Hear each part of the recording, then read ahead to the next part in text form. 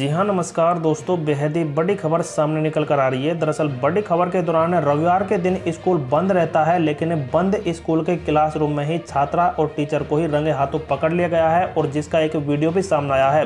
दरअसल यह पूरा मामला बिहार के सीतामढ़ी के शिवहर ज़िले के श्री राम खेलावन जंगी उच्चतर माध्यमिक प्लस टू विद्यालय खुसर का बताया जा रहा है। युवक ने रविवार को एक छात्रा को स्कूल में जाते हुए देखा तो उन्हें शक हुआ है और चुपके से पीछा किया तो देखा कि स्कूल शिक्षक और छात्रा को रंगे हाथों पकड़ लिया गया।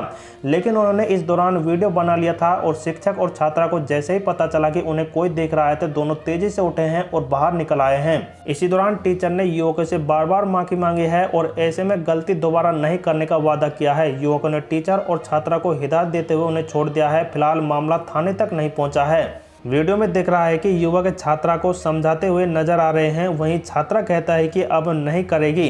वहीं टीचर युवकों के सामने भी माफ़ी माँगता नज़र आ रहा है और अब दोबारा ऐसी गलती नहीं करने की बात भी कह रहा है। टीचर यह भी कहता है कि किताब लेनी थी, लेकिन युवक कहते हैं कि रविवार को स्कूल बंद रहता है तो आप स्कूल में कैसे आए हो?